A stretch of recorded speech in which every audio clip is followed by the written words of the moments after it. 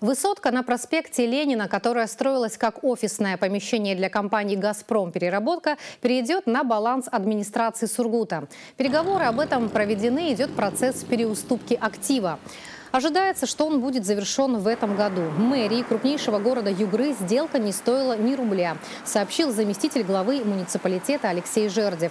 Он отметил, что пока невозможно посчитать, во сколько обойдется содержание такого актива. Более того, чтобы ввести его в эксплуатацию, потребуется потратиться на косметический ремонт.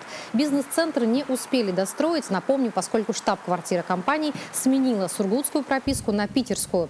Руководство дочки Большого «Газпрома» неоднократно выставляло выставлял объект на продажу. Однако желающих потратить несколько сотен миллионов рублей на здание так и не нашлось. Здание «Газпрома» – это одно назначение.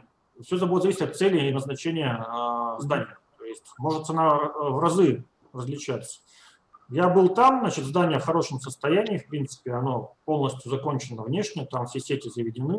Вот, требуется финишная отделка и мебель. То есть это, да, это не гигантские затраты по сравнению с тем, чтобы построить такое здание с нуля. Алексей Жердев отметил, что в Сургуте есть серьезная потребность в площадях для разных городских и окружных структур.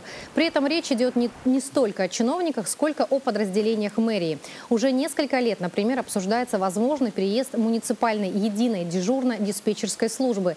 Зам главы города подчеркнул, что окончательное решение о назначении здания власти Сургута примут совместно с окружным правительством. И только после того, как объект будет передан в собственность муниципалитета.